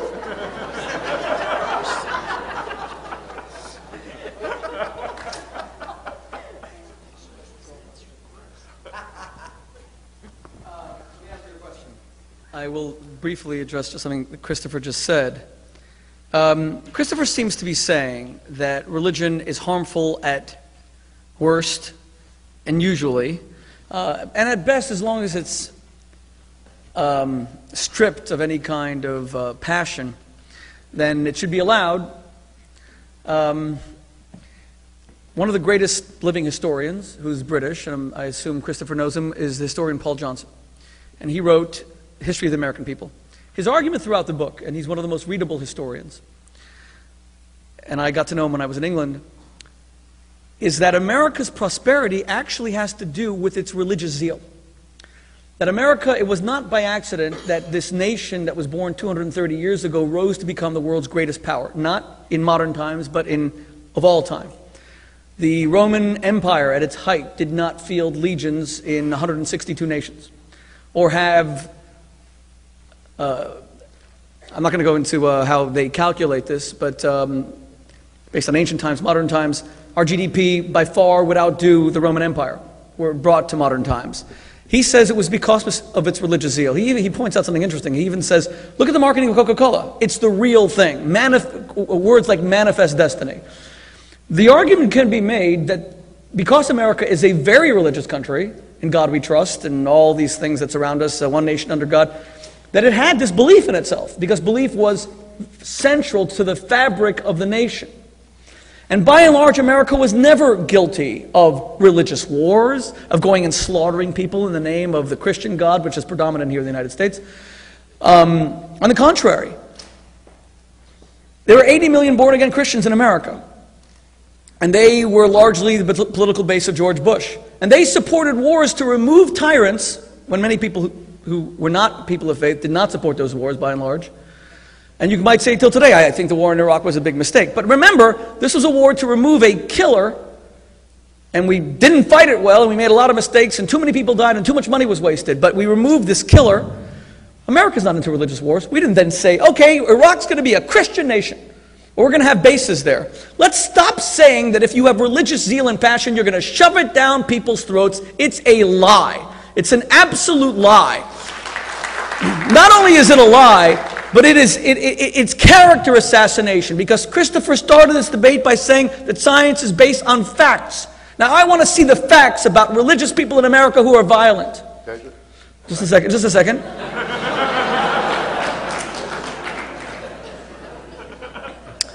now, to answer Naomi's, um, and you can bring exceptions, but they prove the rule. America is a peaceful nation that has never had this religious war, although it is the most religious country in the Western Hemisphere, by far. Um, Naomi's question briefly, and she's gone, so Avram, you'll please give her my answer, okay? Uh, why don't we proselytize? You know, this is interesting. I think that one of the things that Christopher Hitchens and other atheists share with religious fundamentalists is a belief in uniformity over true diversity. In other words, Christopher cannot accept that there, anyone should be religious. It's subtitle of his book, How Religion Poisons Everything. Um, Richard Dawkins, as I said, actually believes that religious parents ought to be, he, he wrote either they should be prosecuted or should be denied teaching their children religion. You shouldn't even have freedom of choice in America how you educate your kids. Come on, if that's not an extreme position. Okay, you can clap. You can clap if you believe that we ought to imprison parents for raising their kids the way they want to. You can live in that frickin' world. But let me tell you, I will fight and die before I live in a country that either forces religion on people or forces them not to have religion, okay? And I find it astonishing that people would clap when someone says that religious parents should be prosecuted for teaching their kids religion. So be it. It just proves my, it just proves my point. The new fundamentalists are often the atheists. They are the ones who are intolerant. The reason why Judaism does not proselytize is because we do not believe in uniformity. We believe that the world is enriched by difference. We don't believe we're right, and you have to be like us to be right. I never told Christopher Hitchens once tonight that he should be a man of faith or that he's facing God, as we all are. And to use your words on my radio show, to use, to use your words on my radio show, you said that you were, fa- I said, um, you, you, said, you mentioned to uh, Charlie Rose that you were dying, and you said, um, well, just more rapidly than others. And I hope that it's, God willing, you know, not as rapidly. I hope that you have a long life. In fact, I, I'm going to end this debate with a little gesture uh, to show how important that is to me. But, but, but, but, but, but Christopher, you know, when you come along and you say that no one should, everyone should be like you because you're certain that where everyone is wrong, that's uniformity. Everyone should be like this. I think a world that is all masculine is insufferable. If it's all feminine, it's insufferable. I actually believe in diversity and difference. There are going to be people who believe, people who don't believe. Religion, for so many centuries, made the mistake of saying, no, no, if you don't believe, we're going to burn you at the stake because we're right. And now, atheists are telling us, if you're if you actually believe in something, you are a stupid, uneducated, primitive, backwoods Neanderthal and we're the smart ones. Come on, if that isn't condescending, then what is? We can live in that world where we just insult each other, abuse each other, put each other down. We can only find the bad in each other. It's been done. I won't do it. If I lose the debate, I won't do it. If I'm, if I'm never invited to speak again, I won't do it. I will not betray myself to be popular. I won't do it. I have beliefs. And my belief is that we have something to learn from each other. I believe it to the core of my being. And that's why Jews don't proselytize. Well, I don't know if I can come up to Shmuley's matchless courage in maintaining that there should be two sexes and two genders. but I admire him for setting the example of fortitude. I'll confine myself to the question of whether manifest destiny prevented religious war in the United States or not. Now, Paul Johnson, who I suspect you of having met at Oxford, by the way, I met him in London. Is, we had um, amazing whiskey a, together. Uh, is a extreme right-wing Catholic nutbag, actually. Um, who I used to know quite well. With some merits as a historian, it's true, a bit of a potboiler. But if you quote him rightly on this, he's just wrong. Um, until the promulgation of the federal constitution, if you were in Maryland and you were not a Catholic, you couldn't hold office. If you were in Massachusetts and you were, you couldn't hold office. If you were in Georgia, you had to affirm the state religion, which was, interestingly enough, Protestantism, not further defined. Jews were subject to disabilities in various states. You go on, as you, everyone knows the story.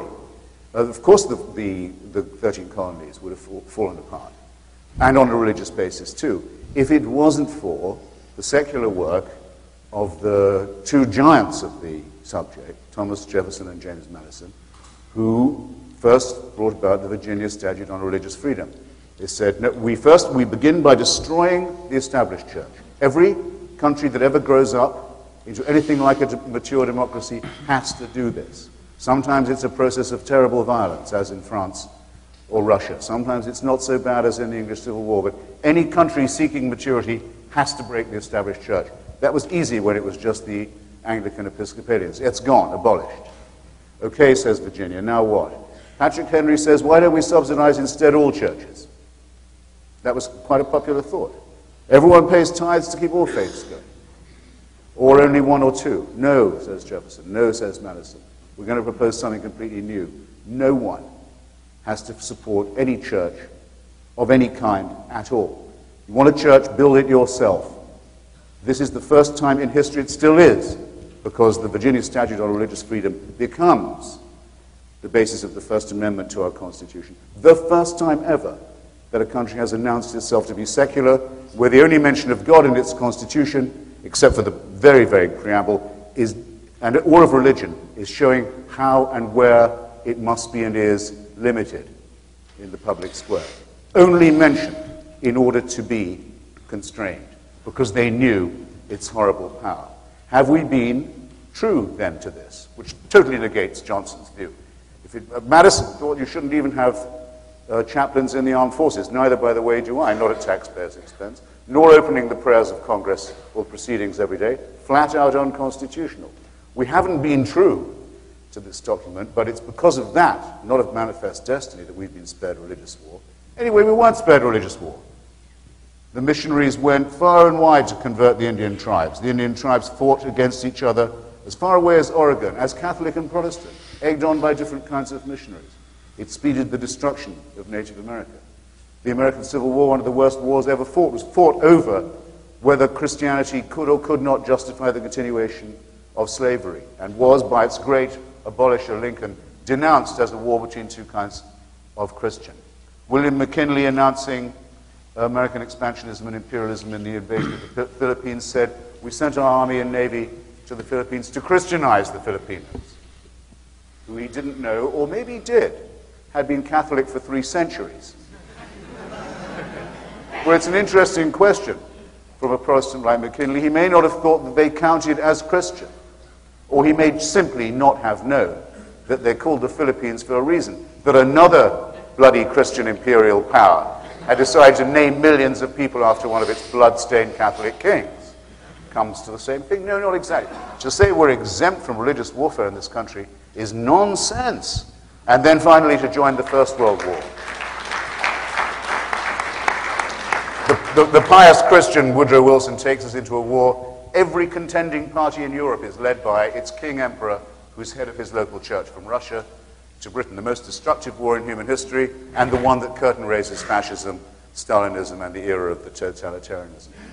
Of totalitarianism. No, let nobody say we've been exempt, but let it be understood that it is our right to be exempt from it. And that every time you hear a religious demagogue open his or her mouth, you have the right to say they're being anti American. And that, that their right to do this uh, is in conflict with the law, not always, but sometimes. Utah was told it couldn't be in the Union unless it gave up plural marriage and, what amounts to the same, incest and rape and trading of children, the selling of daughters to uncles, dirty old uncles as wives. That's what plural marriage really means incest and rape. And it's still carried on with insufficient police attention in some parts of Utah and Nevada to this day, as the Reverend Jeffs can show you. No, we said to the Mormons, you're out of the Union and the army's coming if you want to practice this religion. Of course, certain things should be illegal, especially as they, as they uh, bear upon the child. Is there anyone in this hall who thinks that religion justifies the mutilation of a child's genitals? Is there? Good. Well, wouldn't you like a law that said that non elective surgery on the private parts of a child should be enacted? Isn't it time? What, what a shanda, what a shame, what a disgrace that we still haven't got this far. We can't prevent, in the name of God, in the name of faith, genital mutilation in our country. And we complacently sit here as if religion was no threat to us. Huh? You see what, you see how, what a long job civilization has. Uh, taming, uh, taming faith and making it finally acceptable to the point where you and I can talk about it this way. But it took a long time. We've no right to forget what religion was like before its fangs were drawn, as I started by saying. Thank you.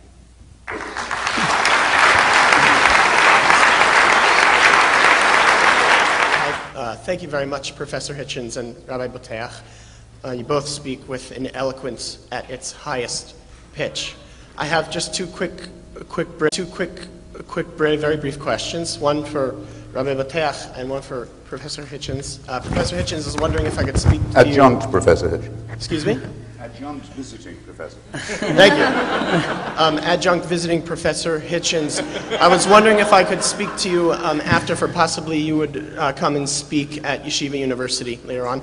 And Rabbi Boteach, in one of Professor Hitchens, or adjunct Professor Hitchens' um, Adjunct scripts- visiting professor. adjunct visiting Professor Hitchens' scripts, um, he sardonically refers to the Rambam's quote of Afal Pi Shayit that, you know, though he may tarry, that how the Mashiach may tarry, the Messiah may tarry. I was wondering how you would reply or respond or interpret that halacha in, in Sefer Malach. Uh, I think, I think we all believe that the perfection of uh, humanity, society, our political system, our economic system, uh, economic inequality is something that tarries. It takes a long, darn time, and I don't think, and that's what we're speaking about. Messianism is about uh, raising humanity to a more perfect state, society to a more perfect state.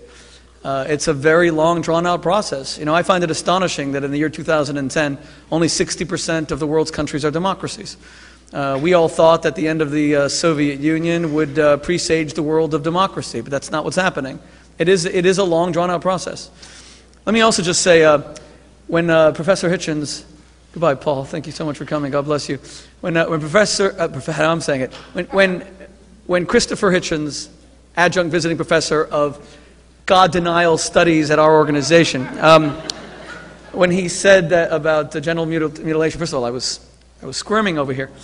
Uh, I, I'm just hoping I'm not mutilated. Um, you know, he said at the beginning of the, of, of the debate that we, this discussion, debate, that we have to follow the evidence. You can't just call it genital mutilation um, when science is now saying that the best way to guarantee the end of the spread of AIDS in Africa is through circumcision, and now African countries are trying to get people to circumcise themselves and mutilate themselves so that they stop the spread of AIDS. That is a scientific fact. Um, I didn't make that up. I was even surprised to read it. It's now being practiced all over Africa, trying to get men to circumcise themselves, circumcise their sons, so that AIDS does not spread. Um, female genital mutilation, which makes it, and I, I know, you know, I, I've written a few books about sexuality. Of course, when you remove a woman's clitoris and she can no longer feel sexual pleasure, that's a denial of, of the beauty of sexuality. And sex is a beautiful thing, not for procreation, but because of the pleasurable experiences that two people can have that draw them closer and wash them away in a, in a, in a sea of positive emotion that transforms their, their, their relationship. Uh, but, but, but circumcision has not shown that that does that to boys. And there are other studies that would. But the AIDS thing has always impressed me, and I was wondering what Christopher had to say about it. Sure, the spread of AIDS. No, no, there's been No, all no, these no. important studies about it from the World Health Organization. Um, if there are doctors here who know more about it, you should even. there's- There are two very, two very simple replies to that. One is from the Rambam Maimonides himself, who says that the point of circumcision is to try and diminish the turbulence of the relevant member um, and to blunt it as far as possible while making it compatible with procreation. That's explicitly given as the reason. It's also why he says it must be done to the child because someone older might be too aware of the pain and discomfort and loss of sensation and not do it.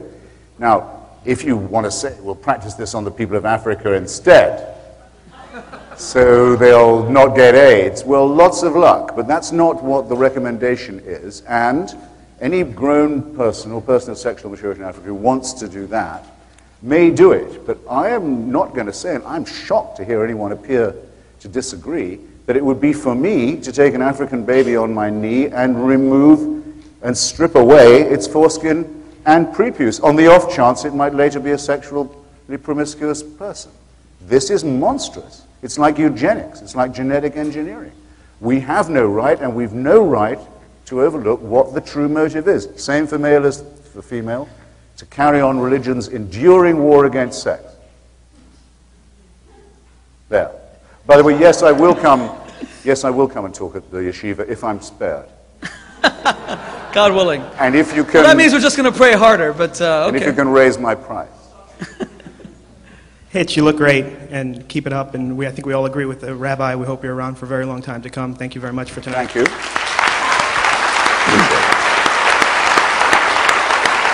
But, but you've, you've, you've warned us not to spare you, and so uh, I, I want to kind of uh, pr- press you a little bit on something you said. I'm very interested in hearing the rabbi's opinion as well. You mentioned uh, Eugenio Pacelli, uh, Pope Pius XII, I think everyone's uh, familiar with him, and so forth. You also mentioned that you just met Benedict XVI, who just landed in uh, Hitch's uh, home country, I guess, earlier today.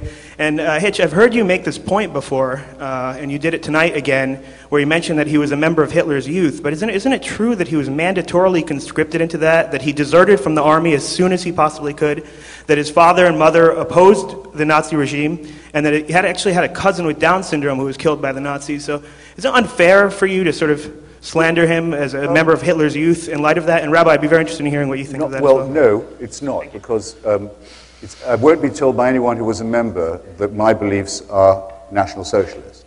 That was my original point. Second, in his memoir, which I've read, um, very slender little memoir, he does mention being conscripted into the Nazi army and says you couldn't get away from it. That's what every single German has always said. There was nothing you could do, you had to play along. We have the examples of many, many very brave, including many brave atheist Germans, to give that the lie. Yes, you could get out of it. There were all kinds of ways you could. But let's suppose, for the military service, he wasn't able to. He doesn't happen to mention that he was ever in the Hitler Youth. He didn't come up with the excuse that you had to do that too, till it was pointed out to him and by historical archivists that he had done that as well. Wouldn't you rather it had been the other way around? That he'd first said he'd done it and then said he had to, rather than being found out to have done it and then said he had no choice. And if that's the level of his morality and his compromise with evil, then what's he doing? I don't care about him as an individual. What's he doing giving moral lectures to everybody else? He falls below the average standard of the German uh, citizen, in, who in their majority never voted for the Third Reich, though they were ordered by the Catholic Center Party in the Reichstag to make the monstrous leader of that party into the Chancellor of the German Republic. This record is very plain.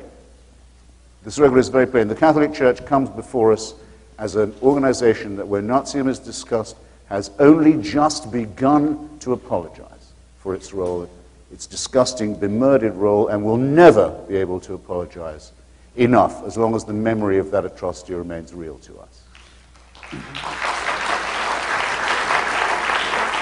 Oh, can I- From, from these I- people, from, these, say- from these people, excuse me, I will take no lectures in morality ever on any terms on any subject.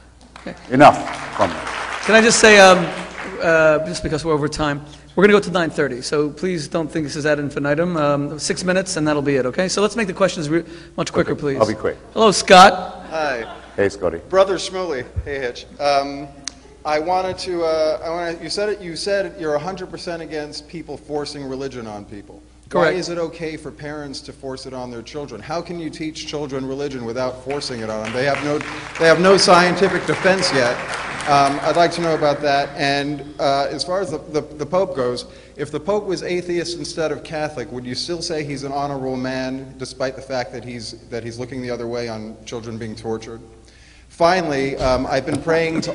I've been Scott, praying. I I said we got six Get minutes. One last, thing. I've been praying for 25 years to all the gods for WABC to hire a black host. What am I doing wrong? Am I kneeling the wrong way, or what's going on? Anyway, thank you. Well, now, now the people at WABC, uh, my very dear friend Lori and uh, all the others now know the Scott Pellegrino who torments WABC, right?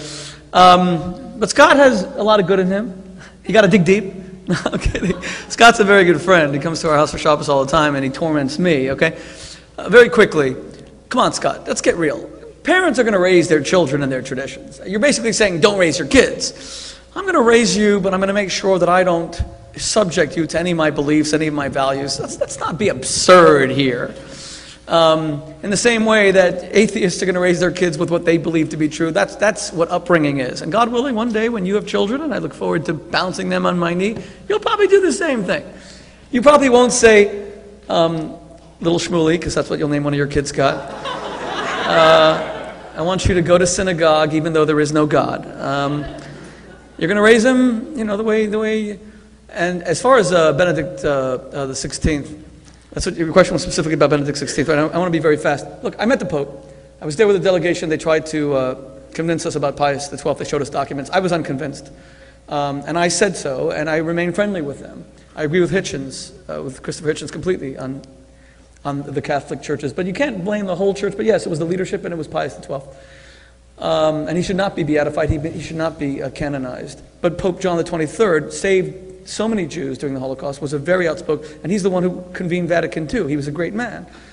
Um, you know, in religion, there are great men and there are people who aren't. Of course he should, and he should be held accountable, and I'm not excusing that in the slightest.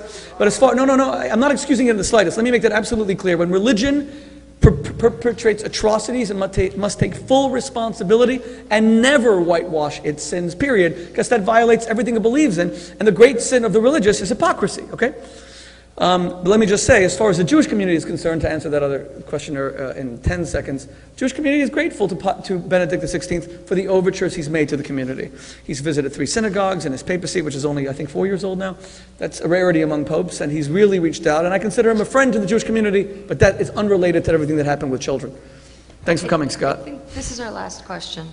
Okay. Oh, hi. Okay. Uh, Christopher, great to see you in person finally. It's a real honor. Um, Wait, what, what am I, chopped liver I'm over sorry, here? no, What right, am right I? now, because, listen, my question's for you. Am I actually. not here in person? Am So, I like no, an apparition you're- or something? No, this is, this or, is uh, totally with you. Okay. Okay. So, um, all right. Not- so not I've to been, be outdone. I've been, uh, I, so I'm involved in the erotic arts uh, for some years now. The erotic arts. Yes. I got an And- interview for a book, okay. And um, Did so- they mutilate you as a child? I'm sorry. Were you mutilated No, as I'm a child? Jewish. Oh, so they did mutilate you. I guess so, but I still receive sexual pleasure. Quite okay. Oh, okay. So my thing is, is that so I, I have like a lot of sensitivity when it comes to when it comes to organizations and groups who are stifling sexual expression in America. Uh, most of them seem to be Christian and Catholic based. Um, I'm assuming if Islam had a greater foothold in America, I'd probably be hearing a lot from them as well. Um, but I don't really hear a lot from Jewish organizations when it comes to uh, stifling sexual expression. And I'm wondering if I'm wrong there or am I onto something? Jews like sex. Okay. Thank you. I bet Catholics also like sex. And uh, Lisa Oz is um, a Christian, correct? Yes. Okay. And I, I'm not going to speak for what you like or not. It depends who's defining it. I'm, al- I'm also a member of a cult by someone else's definition, so Uh, that's okay. why I hesitate. oh, okay. I mean, I suppose it's possible to like sex without liking women. Um, well, in fact, I suppose in theory it must be possible. But, but if you, you see I'm identifying something essentially implausible or, or potentially horrible, what I mean to say is this. When I say religion is man-made, in other words, it shows every sign of being produced by a primate species that's half a chromosome away from chimpanzee, I don't just mean man-made in that sense. I mean male-made. It, it's very noticeable, especially of the monotheisms, that they are run by and for men and founded by and for men. The Jewish prayer, I don't have to tell you, used to begin, some, the Orthodox one still does, thank God for not making me a Jew, a Gentile or, or a woman. The, um, I don't need to labor to you what the Quran says about the place of women in religion. And the disabilities laid upon women by Christianity are, again, too, too numerous to mention. It's, it's too obvious that the repression of, of the female is, a, is a, a principle of monotheism uh, for it to be overlooked. Doesn't mean that pleasure can't come from repression. Some people say it can. Try anything once. But it's, um, I think it's, a, it's an unhealthy thing, surely. And isn't it rather noticeable that the, uh, in debates even in this city on, for example, the rights of uh, homosexuals, that Orthodox Jewry at least seems to take it as a particularly strong responsibility to oppose any manifestation of gay life. I don't know why that should be or what its scriptural authority for that is. I suppose it's probably Leviticus, as with Christianity. Well, I, I'm an But, it's, Ortho- but it, it's something you can't not notice if you're interested in the subject. I'm an Orthodox rabbi. This morning I was on Rosie O'Donnell's uh, radio show, organized by Terry Caden, who was That's one of the going too far. And uh, I have a gay Orthodox Jewish brother uh, who's Orthodox, and um, and um, I don't see that homosexuality is a huge issue. In other words, I know what the Bible says, but I always say to my brother, the Torah consists of 613 commandments. You have 611 that you want to keep. Okay. That, that'll keep you busy. Uh, I don't see it as some great emphasis that we put. On the contrary, I, I, I, the Bible says it is not good for man to be alone. Uh, are you, you know, sometimes your faith and your humanity, you, you feel in conflict. You do. And, and as you see gay men and women who love each other and who are not alone, and then you know that, oh, the Bible says X, Y, and Z about it, it's not an open and shut case that we simply say, religion says that you can't be with this person and you have to be alone. I believe in grappling with our faith, and it's, it's, it's not so simple. And I think those who make it simple are those who are fundamentalists. Um, and that's the problem.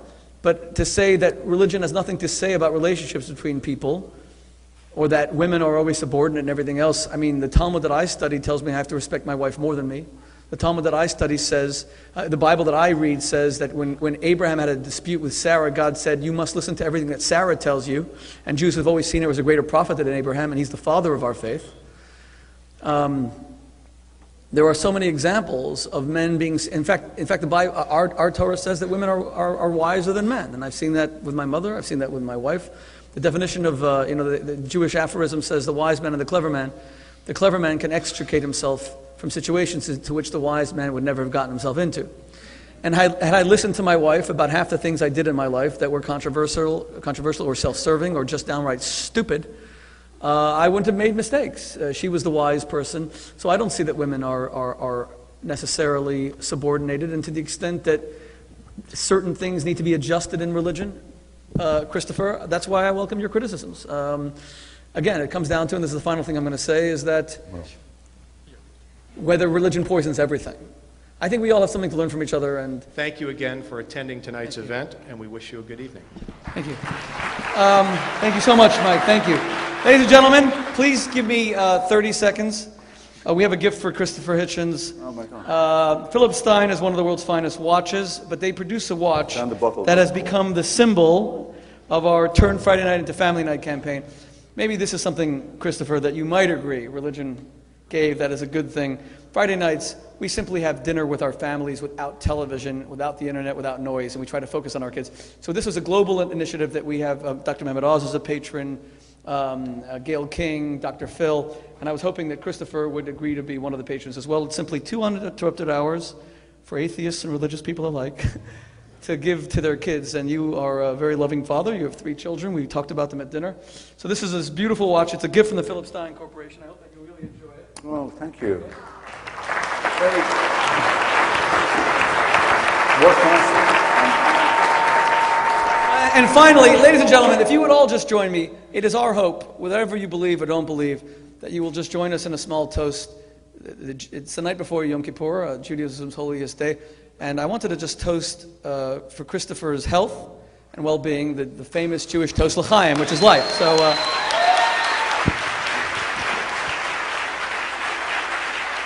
Okay. It's, it's amazingly nice of you, and thank you. First, for reminder of the passage of time. I mean it. and second, for this very handsome gift. And, and a tip for everyone you turn the bottle, not the cork, okay? Like this. And then.